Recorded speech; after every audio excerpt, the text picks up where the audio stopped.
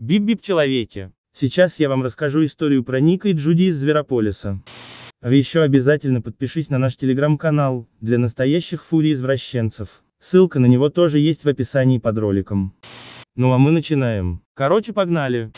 Абсолютно каждый знает, что утром в понедельник труднее всего вставать. Джуди Хопп с большим трудом смогла поднять своего парня с кровати. Он чрезвычайно сильно хотел спать, и постоянно отключал будильник. Освежающий душ, а также чашечка крепкого кофе, быстро привели рыжего самца в норму. Буквально через полчаса наша пушистая парочка были уже на работе. Не успели они добраться до своего кабинета, как на телефон Ника пришло сообщение от его друга Финика. Этот зверек написал, что попал в серьезную переделку, и ему срочно нужна помощь. Наши пушистые герои сразу же рванули к дому, в котором жил этот финек.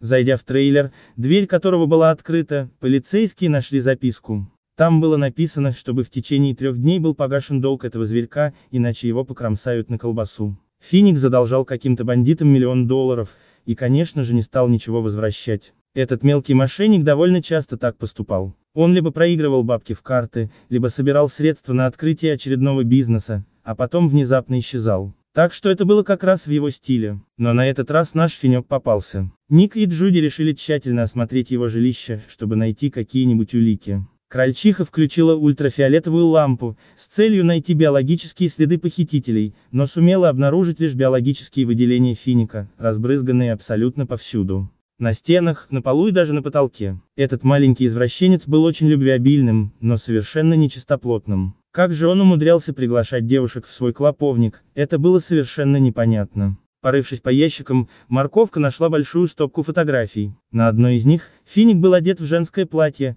а Николас целовал его прямо в губы. Джуди просто офигела от увиденного, и решила спросить у своего парня о том, что было между ними. Лис немного засмущался, ему стало чрезвычайно неловко. Это было больше десяти лет назад. Начал вспоминать рыжий парень. Мы были молодые и любили экспериментировать. Продолжил говорить Николас. Затем он рассказал о том, как они частенько тусили вместе в этом самом трейлере. Пили очень много пива, а потом делали друг другу приятно. Как же они тогда отжигали, и жарили друг дружку до потери пульса. Феникс с виду кажется очень суровым и грубым, но на самом деле он очень нежный и ласковый. Ему без ума нравится примерять разную няшную одежду. Кстати, он до сих пор этим занимается. Вам кажется, что он просто так носил костюм милого слоника. Я так не думаю. Ему было чрезвычайно приятно в нем находиться. Значит, ты мне наврал. Сердито фыркнула Джуди.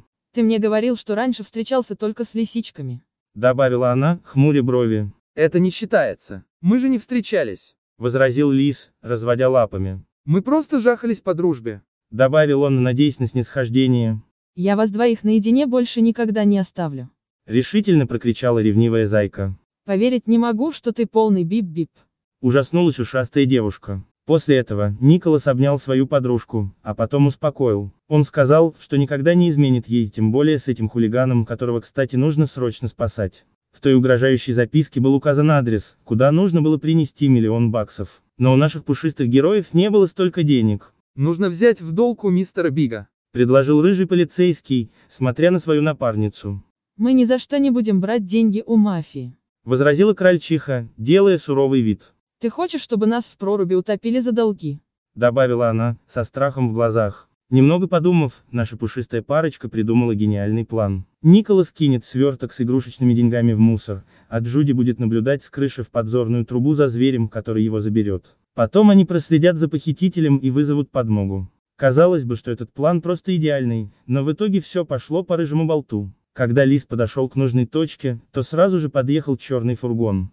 Оттуда выпрыгнуло четверо головорезов, которые долбанули рыжего парня по морде, а потом затолкали в машину, и благополучно уехали. Крольчиха находилась слишком далеко, и ничего не успела сделать. Ник очнулся на заброшенном заводе, находившийся где-то в джунглях. Он был привязан к своему лучшему другу, который очень сильно этому обрадовался. Джуди нашла фотку, на которой мы с тобой целовались. Вздыхая, произнес рыжий парень. Теперь она знает, что мы с тобой занимались сексом. Прошептал он расстроенным голосом. Нас сейчас порежут на ковры, а ты паришься из-за такой фигни.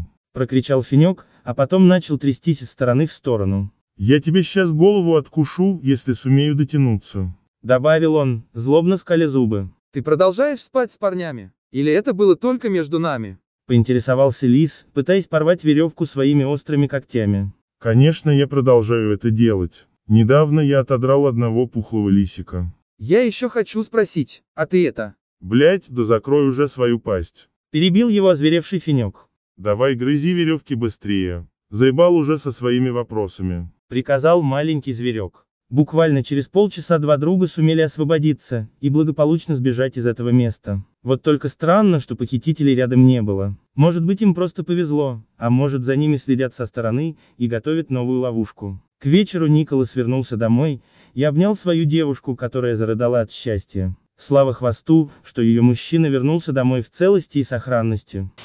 Продолжение следует. На этом все. Ставьте лайки и подписывайтесь на канал. Всем пока! Зверополис 2, горе не беда Ника Джуди, да, вместе навсегда Зверополис, ждем мультфильма мы второго Зайка Лиш, вместе будут по-любому Зверополис 2, горе не беда Ника Джуди, да, вместе навсегда Зверополис, ждем мультфильма мы